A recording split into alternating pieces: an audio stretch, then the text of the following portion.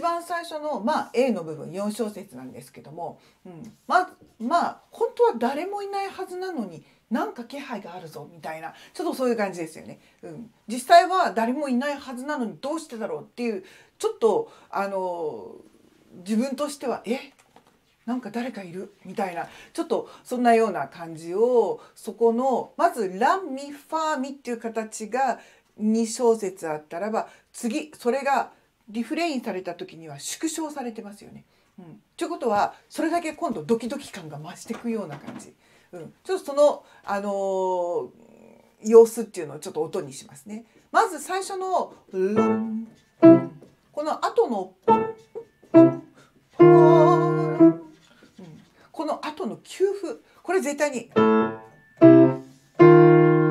ではないですよね。非常に緊張度の高い「ラン」これですね。次もこの給付これ非常にしかももうこの音っていうのはもう非常な不協和音ですね。うん、不協和音にするからこそその怖さを助長してるあのような感じで、うん、でここにやっぱり重みが欲しいですね。ティーンっていう。スラーとスタッカートを見てそれでに付随すること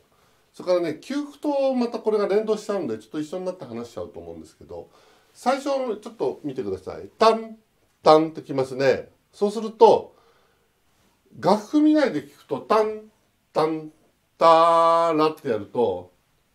何音符想像するかっつうのはこれ結構テンポによるのと思います。遅くなればなるほどタン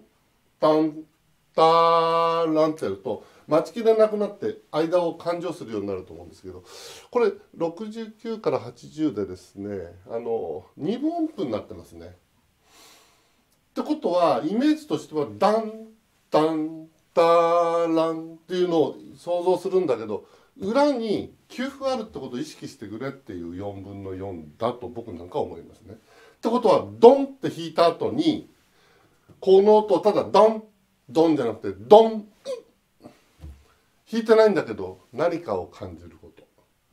で感じさせたければ、えー、ちょっと恵子先生が弾いてもらって僕は裏拍をですねこう打ってみますね。せーの。